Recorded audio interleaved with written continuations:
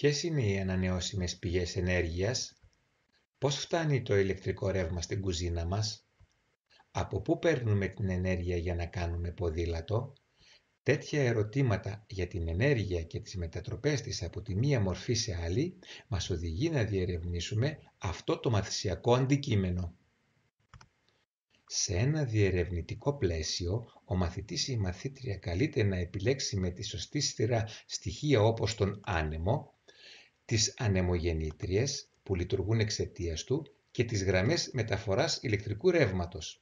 Έτσι παρακολουθεί τη διαδρομή της μετατροπής της ενέργειας από τη μία μορφή στην άλλη, όπως κινητική ενέργεια σε ηλεκτρική, φτάνοντας ως το σημείο που γίνεται χρήσιμη στην καθημερινότητα του ανθρώπου, για παράδειγμα στη λειτουργία της ηλεκτρικής κουζίνας.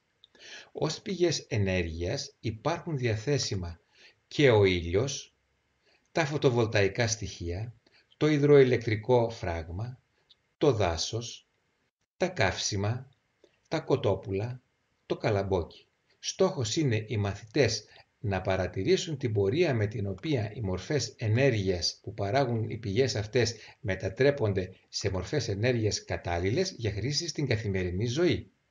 Πατώντας το πλήκτρο επίδειξη, μπαίνουν σε κίνηση όλα τα στοιχεία που έχει τη δυνατότητα να επιλέξει ο μαθητής ή μαθήτρια, ώστε να μετατρέψει τη μία μορφή ενέργειας σε άλλη. Ξαναπατώντας το ίδιο πλήκτρο, σταματά κάθε κίνηση. Ο εκπαιδευτικός θέτει δραστηριότητες και καθοδηγεί το μαθητή ή τη μαθήτρια να πειραματιστεί για να αναπτύξει κριτική σκέψη και να καταλήξει στην επιστημονικά ορθή απάντηση. Βρείτε και άλλα διαδραστικά μαθησιακά αντικείμενα στο αποθετήριο φωτόδεντρο μαθησιακών αντικειμένων στη συλλογή της φυσικής.